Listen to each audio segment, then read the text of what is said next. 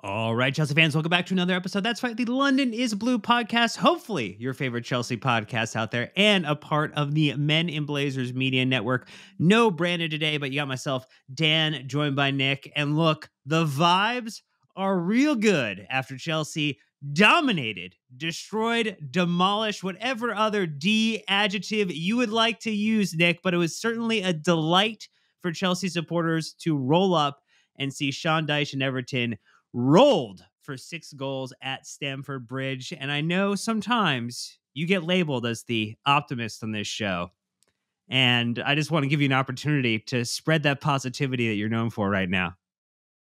Well, I, I think it's just worth saying up top that this is the first El Blaze Erico that we've been a part of as the Men in Blaze Men in Blazers Media Network. And uh, Raj, we took no pleasure in this whatsoever. Just n- nothing personal. We took no pleasure in it whatsoever. And uh, yeah, you know what? For the first time in a long time, we're actually going to have some fun with this and and spread some joy because you know we were talking before the uh, before the show. We deserve this. we deserve this little moment in the sun where we played well, we didn't give up any goals, and we have a bona fide superstar on our team, and uh, it's going to be a fun one.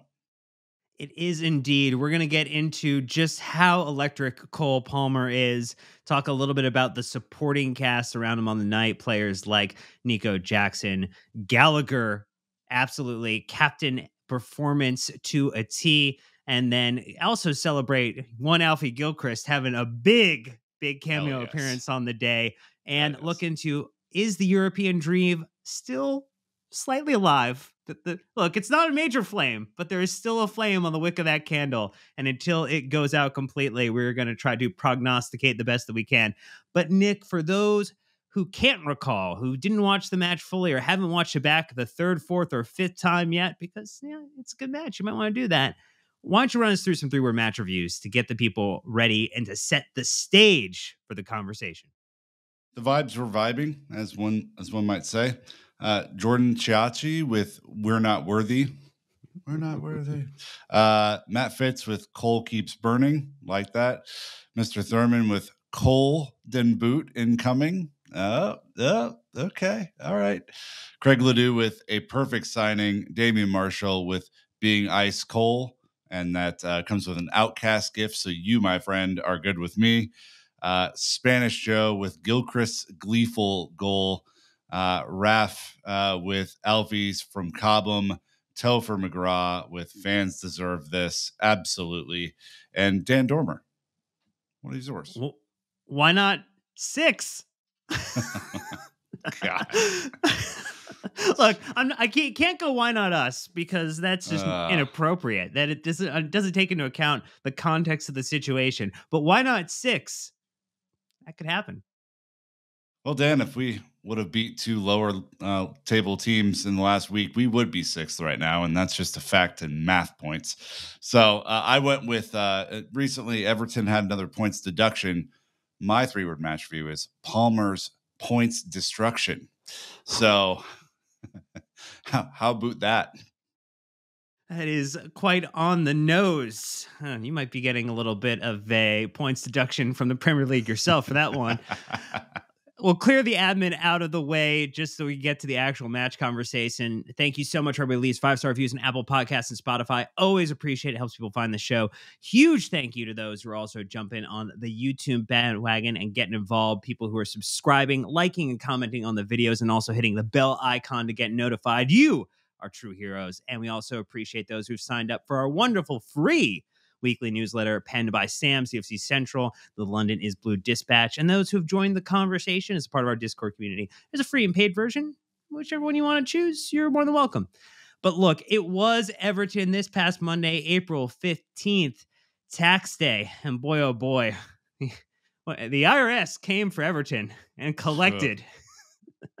uh, it was ever? at Stamford Bridge.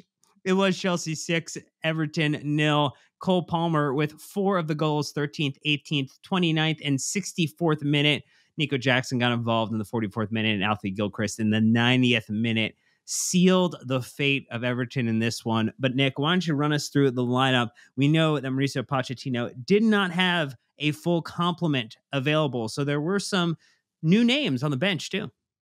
Yeah, we found out uh, pre-match that Axel Disasi, one of the very few healthy players for the entire season, uh, had a little bit of an injury, was likely to miss this one, along with Enzo Fernandez, a midfielder who uh, we typically do not play without. And so it was very, it was going to be interesting heading into this, see who actually played and who didn't. Uh, Djordje Petrovic back in between the sticks had very little to do today, um, so got got his clean sheet and he's out the door. That's good. Malo Gusto comes back in. Trev Chalobah on the right. Thiago Silva on the left. Marc Cucurella as left back with Conor Gallagher and Moises Caicedo uh, as the midfield pivot. Mykhailo Mudryk, Cole Palmer, Noni Madueke, and Nicolas Jackson made up the starting attack. Uh, subs of Carney Chukwuemeka, Ben Chilwell, first appearance in month and a half, I think, something like that, since March. Uh, Cesare Casadei, Alfie Gilchrist, who we will talk about, of course, and Deivid Washington, unused subs, Bettinelli, Benoit Badiashile, Kiano Dyer, and Tyrique George. Uh, would have liked to see them, but uh, but we didn't, and I have a, a little commentary on that later. Well, let's look at all the top line stats too. You would imagine the XG would have been higher, but only 2.96 to Chelsea, 1.14 to Everton. You had 59% of the possession to 41% for the Toffees, 14 total shots, 10 on target to their 10 with two on target. And look, when you kind of take it into account for big chances, one of our favorite stats, Chelsea had six of them, only missed two. Everton had one and missed their one opportunity. I love this random stat, Nick. I know you're going to enjoy this random stat I found too. Opta sure. Joe, one. Sean Dyche tonight suffered the heaviest defeat of his managerial career in what was his 531st game in charge across spells with Watford, Burnley, and Everton. Thumped yeah, and uh, as a as a team who's played Sean Dyche's Burnley and now Sean Dyche's Everton, uh, couldn't happen to a better guy, you know. And uh, we're we're excited about this. Look, I think Sean Dyche is actually a pretty nice dude. I have no problem with him. I hate his football, and I'm glad we gave it to him large today. That was nice. Look, if you have not seen it before, he has a lovely three minute, four minute video of him talking to some radio presenters in the UK. And that one of the radio presenters brought in Indian food, like their partner had made the Indian food. And you get Sean Dyche's commentary on Indian food for three to four minutes, which is great. Love that. Like you, Nick, I don't enjoy playing his teams. And so this one, this one random stat I really enjoy, but I know the people are what they're really waiting for is their end pet shithouse moment of the match. And I feel like in a 6 0 win, you have a lot of options to pull from. I do, uh, but this one's a bit of an own goal, Dan, because our shithouse moment of the match was against ourselves. That's right, our own players, uh, which we will talk about later in great detail, fighting amongst themselves for a penalty, shoving each other, causing all sorts of a fracas and ruckus and all sorts of nonsense. So, um, not typical for a uh, a battering like this, but uh, yeah, tough tough stuff was a tough beat for the Blues in that moment. But look, we're going to get that ad break out of the way when we're back. It is all about the OMG WTF, how Chelsea got it done, and a special night at Stamford Bridge. So stay tuned, and we'll be right back. All right, Nick. Cole Palmer, I think at the top is just where we have to start because the kid was, again, give a little Manchester reference here, electric. Oasis for you and continue to absolutely dominate on the night. Another 10 out of 10 on Sofa Score. We looked through some of the stats there. Only played 80 minutes, but he had 50 touches, four goals, five shots, five on target. He accounted for 2.27 of our total XG, 22 out of 27 accurate passes, three out of four successful dribbles, and just uh, there's a litany of fun stats that we're going to get into. But I mean, I think you called it at the top. He's quickly becoming world class? He is world class. Where do we want to land on that? He's world class. Did you see the first goal? I mean, nutmeg back heel shot after a pass from Jackson, which was also very nicely laid off. The kid's just doing it right now. I mean, there's nothing, and he is a kid. He's 21. I mean, it's it's actually insane what we're seeing. It's like I didn't think that we would that you know we'd be in a position where he got ten goals this year, let alone twenty in the Premier League. I mean, he has twenty in the Premier League. Dan, there's still seven matches to play, six matches in the league. I mean, this is this is ridiculous, man. Like I the skill is is undeniable, but it's also like the, the third goal, the closing down of space. You know, like uh, Naz and I disagree on his pressing ability and, and things like that, and I think that's okay. You know, I don't I don't mind a disagreement about that. He doesn't press like a crazy person. He presses space. He wants to make the space go away. So he pressed the space. Pickford thinks, oh, there's no way he's going to extend a leg and get this ball, passes it right to him, chips him for a goal. That's not a goal that's born out of laziness. That's that's a goal that's born out of hard work and just understanding situational football. He's incredibly intelligent, he's incredibly skillful, and he is absolutely world class. And if for whatever reason Gareth Southgate doesn't take him to the Euros, which is still a rumor that he might not make it, what are you doing? not like I want him to play more international football. I want him to get nice and rested before he goes on a Ballon d'Or hunt next year. But like, he's unbelievable, Dan. Unbelievable. All right, so I'll hit you with two of the stats that I really enjoyed on a special night for Cole Palmer. He has now scored the fastest perfect hat trick in Premier League history. 13th minute was the left foot, 18th minute was the header, which was really well done. Good composure in there, good ability to get up. And then the 29th minute, the right foot right foot wonder goal. Just his ability to chip it over the top. A lot of a lot of swivel on that ball. Real, real nice the way that he got that in there. Other one was four. Soft to Joe. Tonight, Cole Palmer, 21 years old, 345 days. That's right. The lad is going to be turning 22 very soon became the fifth youngest player to score four plus goals in a single Premier League game and the first Chelsea player to net four plus times in a single league match since Frank Lampard against Aston Villa in March of 2010. Souvenir. Real Dan, good. R- remind me, was Frank Lampard pretty good? I, I don't, I don't remember that far away, but it seemed to be like he was some sort of legend, right? he's in fantastic company. We should say that. Yeah. Fantastic company for Cole Palmer to be. If you're in a stat collection with Didier Drogba, with Frank Lampard, you're in very good company, particularly when you're also not the recognized striker for the team. I mean, when you look at Cole's heat map, most of his activity came from outside the box today, came from in and around the top of it and he's making things happen. Like he doesn't need to spend a lot of time getting into the box, the movement around it, the way he's interchanging with other players on the pitch. I really love how he's developed that partnership with Malo Gusto. Like he is, they are very connected. It's almost like that uh, Pacific Rim kaiju experience. Like they're just connected in the automaton together and guiding play. It's really, really good to watch. I got one for your not sci-fi nerds out there. Um, okay, there should just be whatever your fast food joint of of preference is.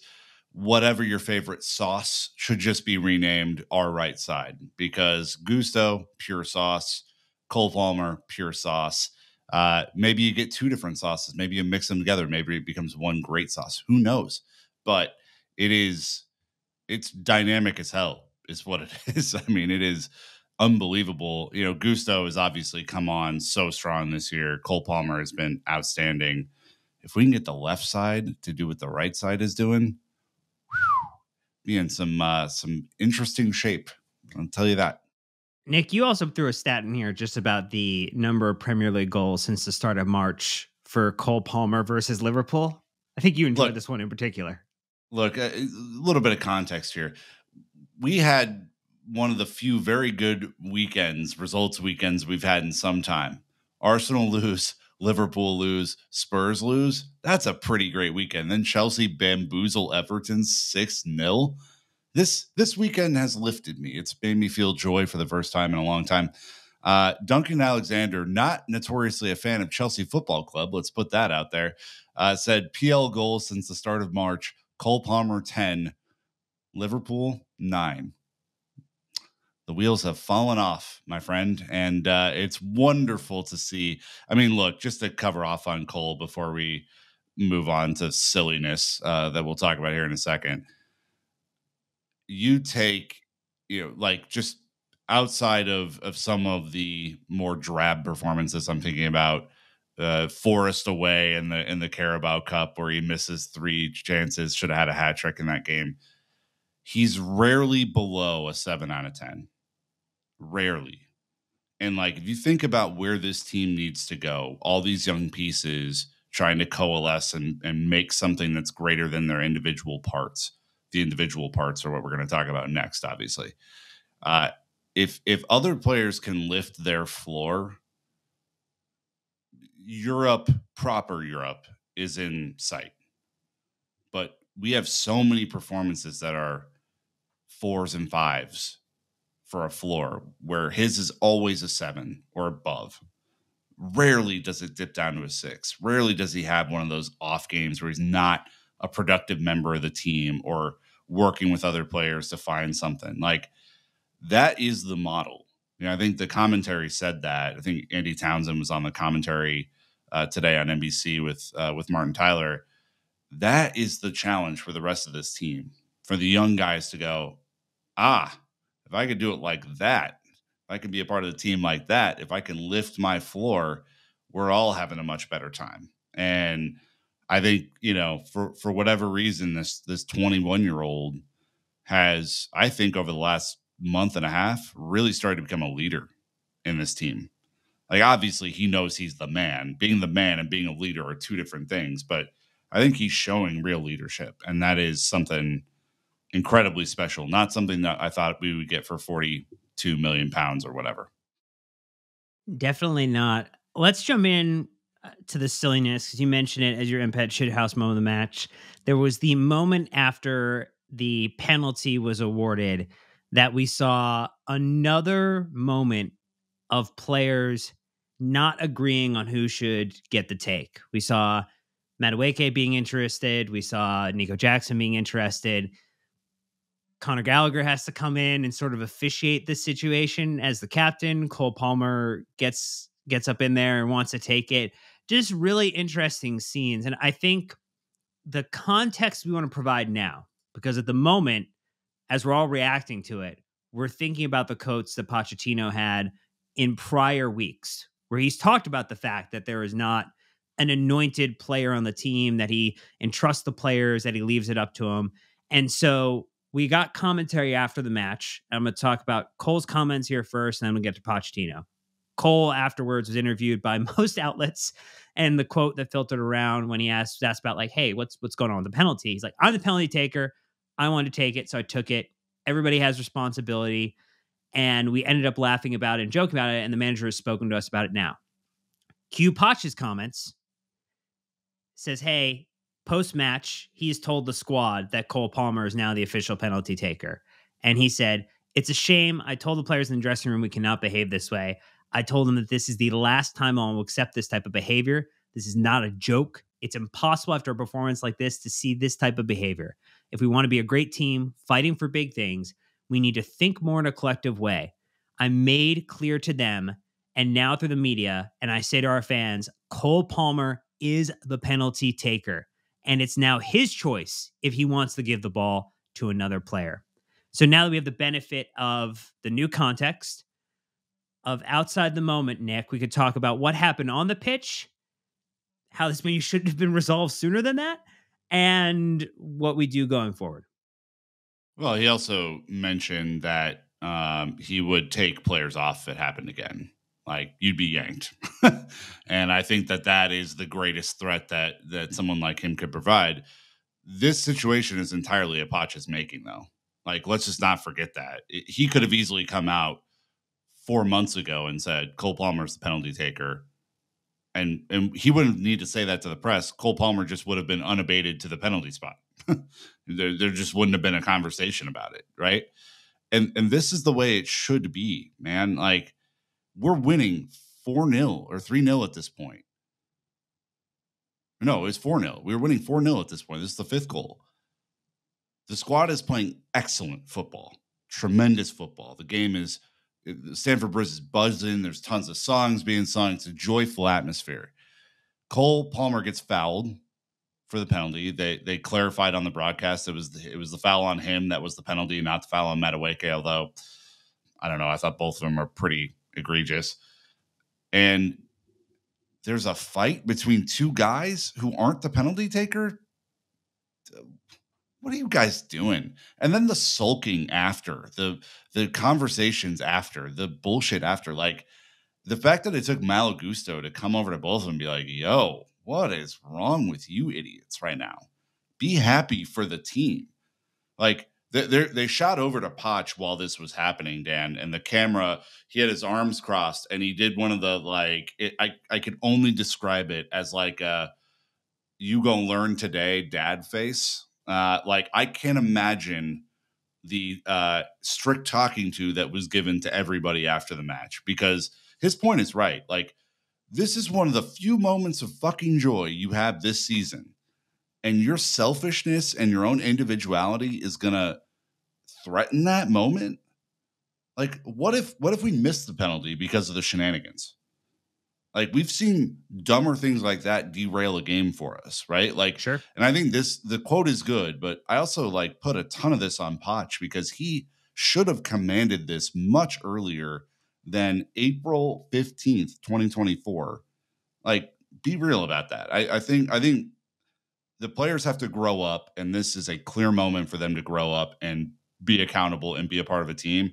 And the manager has to command that before today. I think the context that was maybe missing at the moment for the other players as well. And, and maybe they do or don't know this, right? They don't know that Cole Palmer, with his hat trick, right, equals Ollie Watkins in total Premier League goals for the season, gets the penalty is now tied with Erling Haaland for Premier League goals this season. Say that again, Dan. Say it again right now. Cole Palmer is tied with Erling Haaland at the top of the Golden Boot race in the Premier League at 20 goals. That's outstanding. Like, do you can you have comprehended that at the beginning of the season that we would be in April and Chelsea would have a leader for the Golden Boot? Like, and it would have been Cole Palmer. Because I think yeah. all of us were like, oh, it's going to be Nkunku, right? He's going to come in. He's going to score 20 goals. It's going to be great. No, it's Cole fucking Palmer. I, I just, it is, it's unbelievable to to think about that. And, and again, like, stupidity aside, it, it just looked embarrassing for us as a club. like, I, I really hope these guys get their shit together. I'm all for a really competitive team that really wants to, you know, everyone wants to one up each other in service of – the team result. I am not for your Ronaldo sulking if they don't get their way, blah, blah, blah bullshit. That is not the way the Chelsea Football Club plays ever. Right. That is just, there has to be a line very clearly. And I would imagine there are a couple of guys going to be doing excess amount of running in training tomorrow that will hopefully make that point very clear that not for the first time this year, we embarrassed ourselves. And hopefully that situation does not happen again.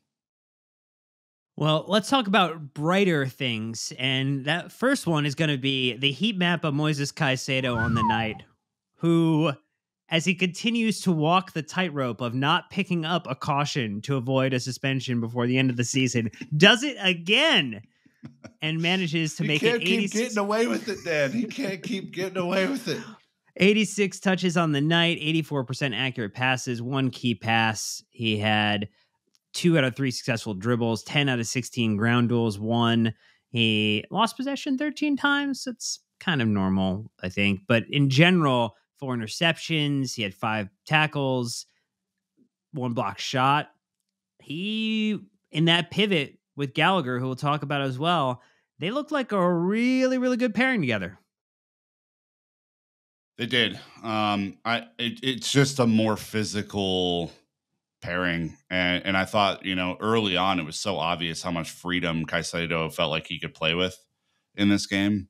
He was all over the place. He was dynamic. He was dribbling uh, Everton players left and right. He was advancing the ball up the field. He was playing great plat, playing great passes. This is much more the guy that we saw at Brighton last year than the guy we've seen at Chelsea this year, and it's because I I think, and this is me being an amateur analyst here, but I think it's because he knew he had a real athlete next to him in Conor Gallagher who could cover off on the space and behind if it, you know, if there was a turnover in midfield. to to Enzo's credit and discredit, he's just not the same sort of athlete that Conor is or that Caicedo is. He's a different sort of athlete. He's a really good athlete. Uh, he knows how to manipulate the ball in ways that those two could pro- only dream of.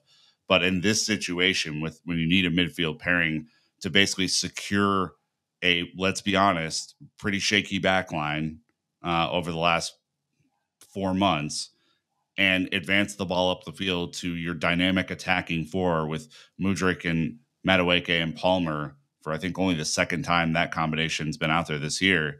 You need stability, and they provided stability, and they worked incredibly well together. And uh, this Caicedo performance, I was I was wondering about him for a little bit because I, I haven't seen the greatness that I expected. This made me go, oh yeah, that guy's really good. Yeah, it was nice to see when you take Conor's heat map and you take Moises Caicedo's heat map, and when you overlap them with another, uh, one another, there are areas where like the the highlight is the same, right? Where you would expect, you know, in front of the our 15 yard box, you know, there's plenty of space there that they were kind of occupying together. But the way that they didn't fully overlap, right? It wasn't like a Venn diagram where basically it's almost an overlapping circle, uh, one circle. It, they definitely had areas where they were operating independently. They were getting involved. Caicedo a little bit more further forward, particularly on the right hand side of the pitch.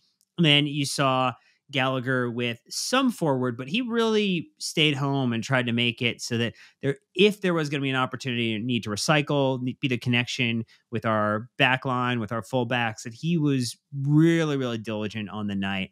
And there were a couple of players, right, like that on the Everton side. I mean, Beto didn't necessarily get a lot done, but he was annoying at He times. annoying. And so, you know, for our midfield players and our defenders, you know, again, who have struggled to uh, do something called get a clean sheet. This is a recognition of the defenders and our midfielders in particular. Like they help make that happen, right? Jackson, um, Jackson, Palmer, others made the goals happen and got us excited. But I think some of us were just as excited that we got our first clean sheet since January. Very, very Me. excited. me, that was me. I I said at halftime in all caps, I want a clean sheet. That is, I was desperate for a clean sheet, and yeah, I mean, to transition to Conor, I mean, I this is not his like favored position being in the midfield pivot. He can do it obviously, and I thought he performed really admirably there, but this is not where he's been traditionally played this year, and I thought he looked great. I mean, he threw himself into tackles, and I think was our enforcer on the day. He was choked twice uh, by Amadou Onana. Uh, Of course, there was nothing given for that. Don't worry about it because choking is legal in the league, so that's pretty cool.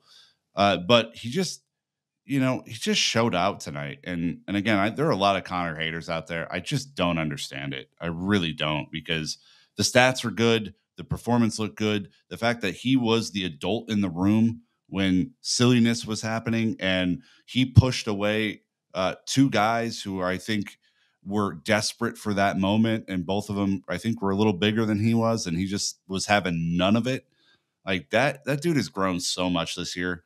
I am absolutely so proud that Conor Gallagher plays for this team, and you know, go through the stats, but the eye test was was epic. Eye test was good. The stats bear out that it was a good night for him. He was 65 of, out of 70, 93% pass accuracy, two key passes.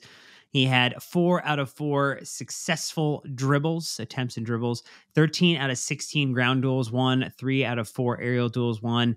He had was fouled eight times on the night and also secured four clearances for the team too as we shut it down. But in general, really good night, good night for Conor. It's one of those things we're going to get to the end of the season, and if if it happens that Chelsea were to sell him, you're selling someone who is absolutely on the upward trajectory within how he contributes and with how he plays at the moment. Yeah, And our, our friends at the Fancast have put together a "Sell Conor We Riot" T-shirt. Hard to argue with that one, man. I I absolutely love Conor Gallagher. I think he is he's just em- he's just is en- emblematic, I should say. I can't say words today. Emblematic of everything that is good about this team. and the fight and character that is required for a team to compete for European places. And some of that stuff does show up on the stat sheet. Obviously, just read some of it. Some of it is intangible, and the intangibles have been lacking so severely at this team all season. And you got a guy with it in spades, man. Just use him properly.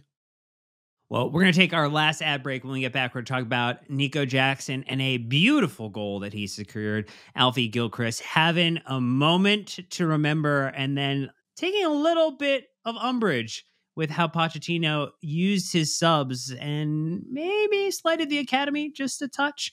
But stay tuned. We will be right back. All right, Nick. So we, we did say some unkind things about Nico earlier, but I have to say that goal that was a phenomenal goal that he scored. You know, he, he's gotten a lot of flack, I think, this season for his decision making, some of the extra touches. This was one where the control of the cross in, the quick twist and turn to set himself up to take the shot, brilliantly executed, embarrassing Jordan Pickford for another time on the night. to to everyone's delight, including Brandon, who's not here. And ultimately did a good job kind of securing the the assist as well. Like he just was involved and is again not the prototypical striker. And I think that's kind of where we might land this summer, right? Maybe he becomes a, a left winger. Maybe he's a bit of a second striker. Maybe we tool around with the offense a little bit. But to think back to this summer to now and to see where Cole Palmer has come from and where he is now and to see where Nico Jackson has come from where he is now, there is growth within these players. And I don't I don't know how much credit I give to the institution and how much to the players and their individual drive, desire, and resolve. But Nico Jackson had a really strong, really solid performance on the night. And, you know, look, eh, with his goal and assist, he's at 14 league goal contributions this season. It's only two off of the amount he had in La Liga last season. So he's definitely, definitely in upgrading to a more difficult league with the challenges of playing for Chelsea, with the early hole that he dug himself with some of the cautions. He is rounding out and getting ready, I think, to end this season where we would have hoped he would have been and still has a pathway with 14 league goal contributions. I mean, with you know several matches left to play, seven matches left to play. I mean, not outside the realm of possibility that he could be in that 16, 17, 18 range and be very close to 20 in the league. That's a really, really strong first season. Yeah, I mean the goal was fantastic. It, it kind of was Giroud esque in its simplicity and beauty. I just I thought it was an excellent take. It might be his best goal of the season, um, and that that is you know not light work. I mean, you add the four goal contributions from the FA Cup and EFL Cup, and he's at 18 goal contributions all comps. That's not too shabby. I mean, you know, if, if it weren't for uh, an excellent season from Cole Palmer, who is just off the rails right now from a goal contribution standpoint, he would I think, easily be our leader in the clubhouse. And you need multiple people who are going to get 10, 12, 14 goal contributions you get them from everywhere, and it makes goal scoring less of a burden and more fun. And yeah, I, th- I think he's just been he's been growing so much this year. I think we may look back on Nkunku getting injured this season as uh, not a blessing, but as a moment for Nico Jackson to have a full season where he's basically guaranteed to be the starter because we didn't have anybody else. And he has used that time very effectively. I, I don't think it can be stated any other way. Now, do I love the antics? Do I love the yellow cards and, and the fact that he has also stayed free of another yellow card, which I, I if you would have given me money, I wouldn't have put it on that um, when he got his ninth. I mean, it's pretty impressive stuff. I mean, if he does get a, a, few more goals, if he gets up to like 17, 18 goal contributions in the league, gets over that 20 mark for the season, all comps, I mean, no nobody would have said 20 at the start of the season. I think we all said 15 would be the high water mark, and he's already passed it. Yeah, when you look at it, he's actually at 18 all comps right now. Yep. So very, very close to that 20 number for all competitions. I think the other thing to consider is, I mean, so he was out for AFCON, right? So he lost mm-hmm. matches mm-hmm. that he could have played in this season. He's made 30 starts, 35 total appearances on the year, just under, just actually just above rather 2,700 minutes for the season. I mean, and not necessarily performing at the same volume. He was at 0.79 goal plus assist minus PKs last season. And he had a very tight end run for Villarreal last season and has got an opportunity to figure out how to more be the guy at Chelsea rather than be one of the guys and to get it figured out. And so I'm just loving it. I'm loving where he's at. I'm loving where he's going. I think it's going to make things interesting as we think about who Chelsea might go into the market for this summer. What type of profile of player we're we going to be looking for? A lot of questions to answer. One question we don't have to answer, though, was how much did Alfie Gilchrist enjoy celebrating his first senior goal at Stamford Bridge? Nick, you got to give me your your run through on the Selly. Give me the grade on the Selly because the Selly was, I think, epic it, it, was an explosion of energy. He didn't even know what to do. He went through eight different celebrations before he reached the fans. Like he did a terrible knee slide. He has to work on the knee slide because he like popped up right away. And then he was he went over the fans. He didn't know who to hug. He was like, hey, "I'm to hug you first, and then I'll be over here." And then I, I think I think it was just eh, in a match that was a beautiful match to watch. This is my favorite moment of the entire match by a mile because everyone in the stadium was so hyped for him. His teammates were so hyped for him. After we saw a moment of individuality around the penalty, you saw everyone coalesce around this kid. Everyone, like Ben Chilwell, gave him a headlock because he's the one who kind of it wasn't a pure assist because Pickford kind of put it right in his path, but like you saw everybody go over to him and and eh, I just man, I I love these moments so much. I love when our own academy players break through. And it, by the way, it's a great fucking goal. It's a really hard goal to get yeah. right. We've seen our players sky those into the stands. How many times this season? Little half volley. He waited for it. Like the snow slow mo replay is great because he was super patient. I know he wanted to go for it earlier. He was busting at the seams to get there. And he just, his foot went down on the ball, controlled it near post Pickford embarrassed yet again, collides into his own player. And man, I just I I know everyone is so hyped for him. And he's not put a foot wrong this year whenever he's played. I, what are you gonna do?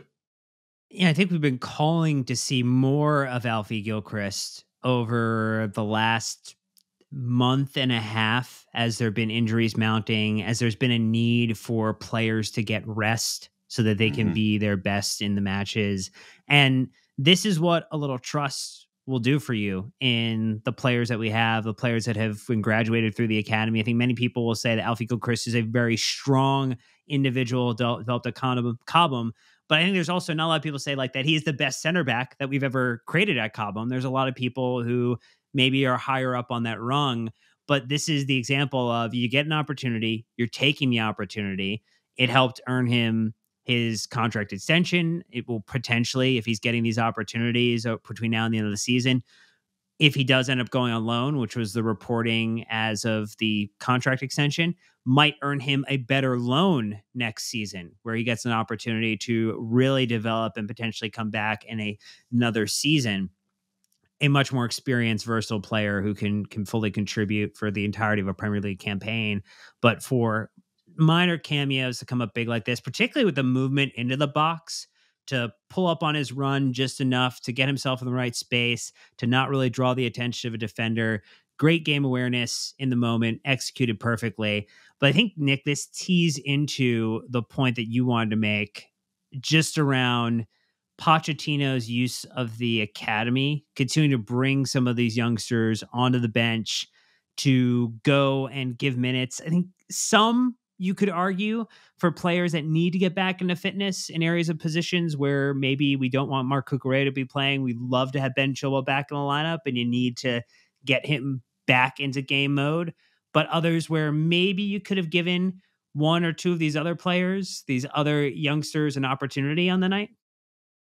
No doubt about it. I mean, at halftime, why don't we see Alfie, Alfie Gilchrist come in? We know Malo Gusto's been kind of going through it. He grabbed his hamstring again in the second half. That's not a player you can afford to lose for the run in.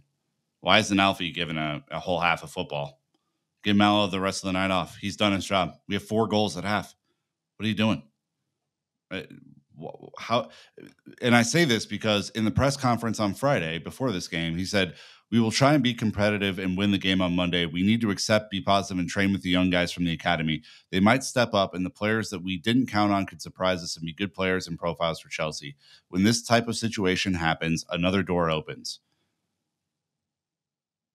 Then what? Alfie gets eight cameo minutes. Uh, I mean, yeah, cool. Chukwuemeka gets just going back up to the the stat box here. Chukwuemeka gets 28 minutes, something like that. Chilwell gets, you know, plus stoppage time, 15 minutes. Casadei, another player who could have come in for Jackson after the shenanigans, gets 12, 15 minutes. Oh, Gilchrist came in at the 88th minute, so he only got about, yeah, I think eight total minutes. Washington, another player who could have come in much, much earlier. Dyer and George there for the for available. Like if you're gonna play Chilwell at wing, why don't you just throw George in? At left back. Let him go. I mean, Everton were doing shit the whole second half. Like, so you either say this and mean it or you don't. And if you don't mean it, then don't fucking say it. I mean, this is, I think the the frustrating part. And I'm not, I'm not Chelsea youth on on the academy agenda, but I do think in a time where your squad has two incredibly important games coming up, City in the FA Cup semi and Arsenal away these are the next two fucking games. You cannot afford to lose more players, more important players for grown up games like those. You are up 4 0 at half. You have won the game conclusively. It's over. No one, even with our defense, no one's scoring four. So, what are you doing, man? I, I love it, Nick Verlaney. What are you doing to talk about just things that are odd and peculiar? Things that and this is maybe a, the wrong way to look at it but I, I think we as supporters have been looking for ways and looking for signs from Mauricio Pochettino that he gets us, that he gets Chelsea, that he understands what this club means. We've seen flashes, we've not seen a consistent, sustained connection between the supporters and the manager Um, not necessarily to say that you have to have that to create a winning culture and an identity. Like there have been mercenaries who come in and get the job done and they go. And you, maybe you didn't have a connection with them. But look, hey, Maurizio Sarri won a trophy with Chelsea. As much as there was no connection, he went out, got the business done, and we say thank you. He says thank you, and we go on our separate ways things like finding an opportunity to create this connection, create a pathway for players. And look, I hate giving Jurgen Klopp any type of praise, but he does it on the regular. And he does it in very, very important games. And I mean, again, I hate, I absolutely hate that I'm saying this, but like that is something that would show the players that there's a pathway. It shows the individuals at the younger levels of the academy, right? The U15s, the U16s, the U17s who won won their their their their league as well. So like I mean ultimately like there's a lot of good things going on on younger levels that people are not necessarily aware of that you would hope he would find opportunities at times like this with how bad things have gotten at points in this season to create more positivity. And this night in the hole is still a plus positive is still one of the best oh. matches we've played in recent history. We are nitpicking, if only to say, how could we get some cherries on top of this Sunday?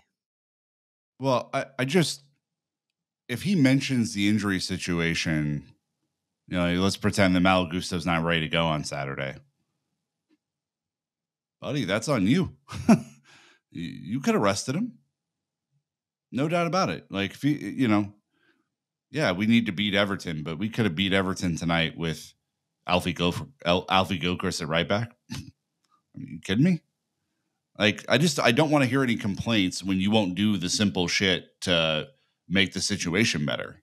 Like, this is where you lose me. Like I I can appreciate the injury situation, and I am empathetic as hell to that because we've seen the injury bench just get longer and longer and longer and longer, and re-injuries and training injuries and international break injuries and all the things that have that have happened to us. But bro, you're up 4 0 at half. Make all five subs at half and just roll with it into Saturday. Take all the momentum in the world into Saturday, knowing that Malo Gusto doesn't have to bomb up and down the wing for another 40 minutes. You know, take the dub. I agree. So let's talk about how the European dream is still alive, Nick. Because again, this is the latest turning point in a season of turning points. Chelsea God, facing the, no, no turning point. We are not at a turning point, Dan. Up Every again. time we've said we are, it goes the other way. So just say we're just we're never there. We're we don't even have a chance at Europe. Maybe they'll show up. Who knows? Another chance to look up and see that it is not insurmountable, that you could absolutely reach up and climb above the teams ahead of you in the table. Chelsea, three points off of sixth place. There are three teams currently ahead of us. We are in ninth place still. So there's no movement in our position, but there were some important matches over the weekend that went our way. Newcastle currently sitting on six, 50 points, plus 17 goal difference. Their remaining fixture list Palace away, Sheffield, Burnley away, Brighton, United away, Brentford away, Tottenham. Not necessarily pretty, an pretty easy, easy run. Yeah, it's an easy run. It's about but as easy a run as there is. Favorable. Man United somehow continue to be one of the luckiest teams I have ever seen in a Premier League season. In seventh place on 50 points with a negative one goal difference. They have Sheffield United, they have Burnley, they have Palace away, they have Arsenal, Newcastle, Brighton to end the season. Those last three matches, not very kind Tough. to Manchester United. Tough. And Palace are playing better now. I should say that. Pa- Palace got something done this weekend. We appreciate it. West Ham, eighth place, have played 33 games. They have played two more matches than Chelsea at 48 points. They have a negative six goal difference.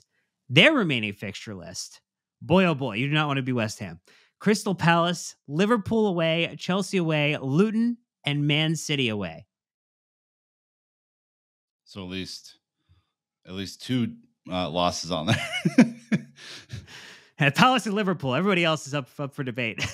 that West Ham game, I'm telling you, I think that West Ham game is is as you go through our schedule, possibly the most important one of the bunch. For Chelsea, we have, as you mentioned earlier, Arsenal away as our next fixture, the reschedule. We have Villa away. We have Tottenham, West Ham, and then you have Nottingham Forest away, Brighton away, and Bournemouth.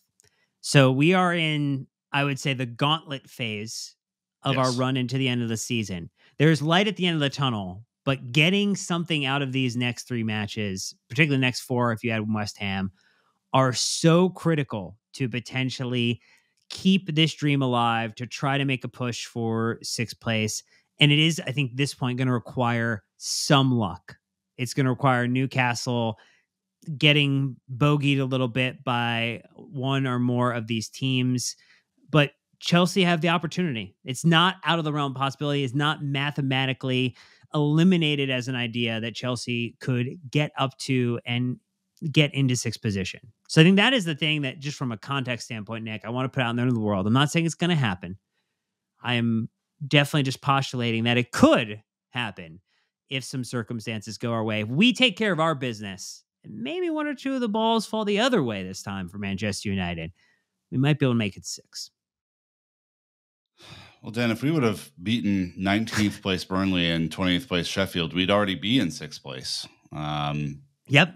And and then and then the math becomes a little easier to stomach uh, as you look at the remaining fixtures because we already went through the cream puff uh, phase of our season, and and now we're at some of the hard bits, the rescheduled bits. The we're still in uh, the FA Cup bits, and that's uh, that's not the case for your Arsenals of the world uh, or, or, your villas of the world or anything like that. So, uh, yeah, it's going to be difficult. I mean, look, I, even to get a point against Arsenal would be so fun.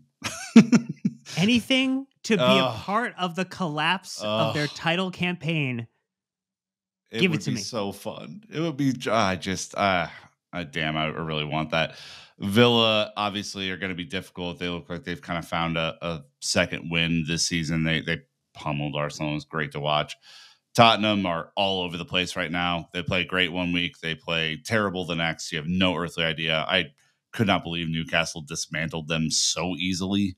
I mean, it was insane to watch. Uh, West Ham are pretty bad right now, just being honest. I think Bowen's injured or is coming back from injury, maybe not full strength. So that's that's their scoring done right there. Uh, Forest are a mess, which means inevitably we're going to struggle with them. Uh, Brighton uh, will be on the beach by then. Bournemouth will be on the beach by then. So we'll see. I mean, like I said, not impossible. We haven't lost in eight in the league, which is part of the reason why we've advanced from our downward trodden 11th all the way up to ninth. um, but you know, we we gotta we gotta take care of business. We gotta play more consistent, and if they do, I have no doubt we'll we'll climb up there. I mean, Newcastle, for all of their you know momentum right now, are are not impervious by any means. I mean, they're they're all over the place too. They have a ton of injuries, so It's possible if we play really well and everyone else plays to their normal standard. I have no doubt we'll be in and around that, but that is asking a lot of us. Well, as we look at how the weekend went for the other teams and where the table is at now, didn't bother running a day down the match. It was Cole Palmer, done and dusted. Yeah. So we just went forward with that. But the results this weekend, as you alluded to, Newcastle beat Tottenham four nothing. Brentford beat Sheffield two nothing. Burnley and Brighton drew. So I guess we're not the only team to draw with the relegation favorites of Burnley. Man City busted up on Luton five to one. Forest Wolves two two. You had Bournemouth Man United 2 2. You had Crystal Palace with the shock result of the weekend 1 0 over Liverpool to everyone's delight. Injected Everybody liked veins. that. Oh, how glorious. That was the start of Saturday. And I was like, man, maybe Saturday is going to be all right. you had Fulham beating West Ham 2 nothing. We appreciate that. And then Aston Villa doing the work, making sure to pull Arsenal back down a little closer to their level two nothing. It was an absolutely good evening after that one. And then we finish it off with the 6 0 result. That means, Nick, Man City, to no one's surprise, back in first place in the league, 73 points on 32 matches played. Arsenal behind them in 71 points. Liverpool in third, also on 71 points. And then you have Aston Villa rounding out the top four in 63 points, with Tottenham not far behind and a match in hand with 60 points. And as you talked about earlier, it's Newcastle and Man United both on 50 points, 48 points for West Ham in eighth, Chelsea sitting in ninth at 47 points. And we do have the benefit of having one less game played against Newcastle and Man United and two games less than West Ham. Dan, I I had heard somewhere that it just meant more to Liverpool though. Um, what? But what happened? I did. Did did Eze say no? I, I think it means more to me personally, or I, I heard that Anfield was a place where you simply can't win. Is this? I'm confused, Dan. I. I, it's, I, it's a media... marketing tie-in with uh, the new Ghostbusters movie. It's uh, the ghost of Roy Hodgson we, we not soon forgotten as a managerial posting at Crystal Palace. The, the the look, the media has told me all season that it just means more that Jurgen Klopp is unbelievable. Hmm. Fascinating. Uh, also, Unai Emery doing that to Arsenal is just mm, chef's yeah. kiss of a lifetime. Just wonder. He had to feel so fucking good after that game. Like just oh, he had to go into the locker room like that Roy Williams, North Carolina bit where he's like ah. dancing in there. ah. so yeah, I mean, it was outside of of Newcastle just dusting Tottenham, which for me is hilarious and banter and fun anyway. It was a perfect weekend of results for us. On the opposite end of the table, Sheffield United continue to be at the bottom on their historically bad campaign. Uh, Thanks. Thanks, guys. Uh, 16 points. You have Burnley in 19th on 20 points. You have Luton in 18th on 25 points, but not so fast. You have Nottingham Forest on 26 points, and then you have Everton, who do have a game on hand on everyone except Sheffield United, who are also on 32 played at 27 points. And they there has been an update that they are fast tracking their profit and sustainability reporting plus the Premier League's ruling on whether or not they violated to the extent because those two points are absolutely massive right now. Critical. Yeah. Because that would take them up to 29. They'd be three points ahead and they would feel a little bit safer as to where they are right now. But boy, oh boy, very interesting times. You could see this coming down to the last game of the season for one of these teams, and it is going to be absolute pandemonium. Yeah, I mean, I, I think personally, I think I think Luton just pips Forest and Forest goes down. Uh, but I mean, Everton are sinking right now. I mean, they're since since they beat us at Goodison, they've been atrocious. They've been one of the worst teams in the league. And of course, you take away, I think what is it 10 total points between the two deductions? Or is it eight? I forgot they got them reduced. They got the first one reduced from 10 to 6, maybe. Anyway, let's just say they would be much higher up the table. They yes. would be an absolute safety land, and they'd be somewhere in the mid 30s, which would put them like up into 14th place. Yeah, they, they would be clear. But basically, everyone from Brentford up in 15th is safe now. I mean, thanks to Burnley and Sheffield United absolutely shitting the bed all season, except against us, of course. Um, cool stuff. Uh, but yeah, uh, I think the lesson is uh, you have to handle your business against these teams. We finally did it. Um, I wish we would have saved a couple of those goals for the other games, but um, here we are. And uh, Chelsea could hypothetically move up the table and be on 50 points if everyone else shits the bed. So we'll see crazy times to think that we could ascend beyond ninth place and make it up to six. But look, we're going to have to wait a little bit longer for that because it's a match against Manchester City this weekend in the FA Cup semifinals that we are looking forward to. And boy, oh boy, it would be nice to just give Man City one less thing to worry about and to really yes. make sure that they can focus on the league. I, th- this is really, this is helping Pep out. Let's help him focus, Dan. That's all I'm yeah. asking. It's like, let's, Coventry are going to dust United. We all know that. That's gonna that's gonna be an easy. That's light work for Coventry. We know this. Yeah. But man, I think I think the league would appreciate if we just help them hone in a little bit more. Right? They already have the Champions League, and they're they're in a real battle against Madrid. There, just guys, take a load off. Go focus on on winning this thing now because uh, if it looks like they are in run in city mode where they're just gonna start destroying people per usual yeah. and and that's gonna be a tough look for uh for it means more liverpool and we're back arsenal that's gonna be tough well, that is going to do it for this episode. Plenty more content coming your way this week from the London is a Blue community of content creators. But that's going to do it for this episode. We're going to take a beat now. We're going to get a chance to just enjoy that 6 0 victory for a little bit longer, a few more days before the weekend hits us. And it's a FA Cup semifinal match that we have to focus on. But you know what to do until next time, Chelsea fans. Keep the blue flag flying high.